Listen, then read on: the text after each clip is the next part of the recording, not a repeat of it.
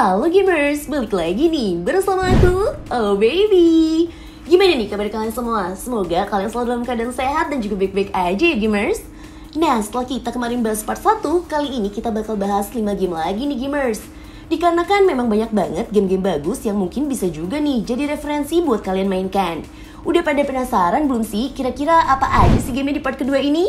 Yuk kita langsung masuk ke video pembahasannya gamers Check it out!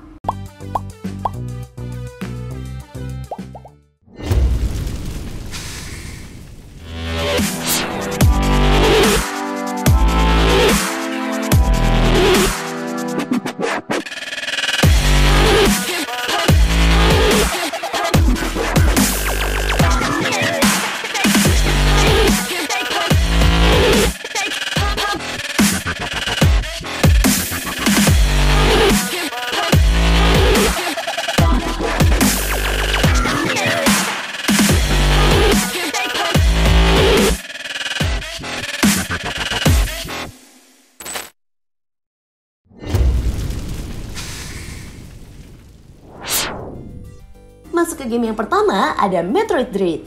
Metroid bisa dibilang menjadi salah satu franchise Nintendo yang dorman selama bertahun-tahun. Dengan Metroid Prime 4 yang nasibnya simpang siur, fans semakin haus akan pengalaman bermain Metroid yang baru. Metroid Dread bisa dibilang mendadak dirilis di gamers. Game diumumkan pada E3 2021 di bulan Juni, kemudian siap rilis pada September lalu loh membuat fans sedikit tidak mengira-ngira mereka akan mendapatkan game baru yang ternyata kelanjutan dari Metroid Fusion yang dirilis pada tahun 2002 lalu. Game dirilis dengan resepsi yang sangat luar biasa loh gamers, dan game ini mendapatkan review gemilang dari media dan juga gamer karena aksi game yang cepat, memuaskan, dan eksplorasi yang dibuat lebih mudah dimengerti bahkan untuk pendatang baru franchise ini.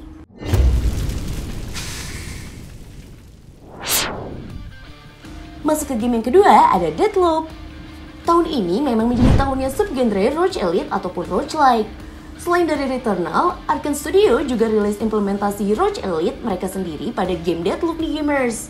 Pada game ini, kamu akan bermain sebagai Colt yang terjebak dalam time loop, membuatnya harus menjalani hari yang sama setiap kali mati.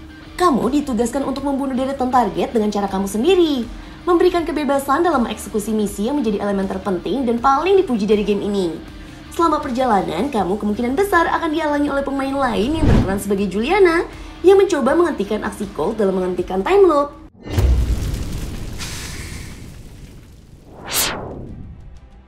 Masuk ke game yang ketiga yuk, ada Forza Horizon 5. Forza Horizon 5 secara sekilas mungkin tidak terlihat jauh berbeda dengan game keempat. Namun dari segi open world nih, skenario balap dan lain-lainnya, game ini merupakan peningkatan yang cukup drastis. Hal ini membuat banyak gamer dan media begitu memuji Forza Horizon 5 yang bahkan mampu menarik perhatian mereka yang biasanya tidak begitu tertarik dengan genre balap.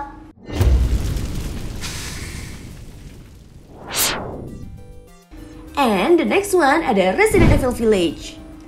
Orang tertarik dengan game ini karena nafsu melihat mommy maker yang terus menjadi bahan marketing Capcom. Tetapi pada akhirnya fans dibuat puas karena keseluruhan game yang memang bagus. Village disebut sebagai kombinasi yang pas antara horor dari game ketujuh dengan aksi menyenangkan dari game keempat. Si Momi Milker hanya tampil sebentar, tetapi sisa dari game tawarkan pengalaman bermain yang seru dan juga menyenangkan ditambah lagi dengan jalan cerita yang jauh lebih menarik loh gamers. Dan pastinya nih, menghibur karena skala game yang tidak terjebak pada satu lokasi saja.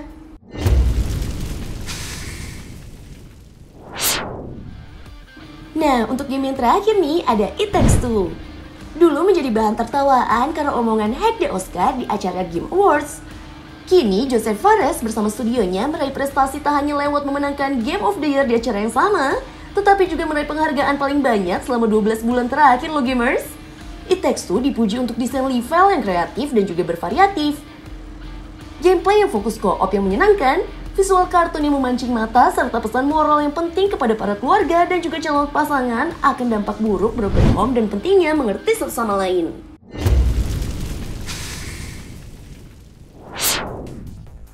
Nah, jadi itulah dia ya gamers, beberapa game yang banyak mendapatkan penghargaan di tahun 2021 kemarin nih gamers. Bisa lah buat rekomendasi kalian kalau misalkan kalian belum pernah cobain game-game ini. Karena udah pasti menarik banget dan kalian gak bakal nyesel deh gamers. Kalau gitu sampai segini dulu ya untuk konten kali ini. Aku mau ngingetin ya sama kalian, jangan lupa ya pencet tombol like, share, dan juga subscribe channel YouTube Dunia Games. OBB pamit, sampai jumpa lagi di video berikutnya. Ciao!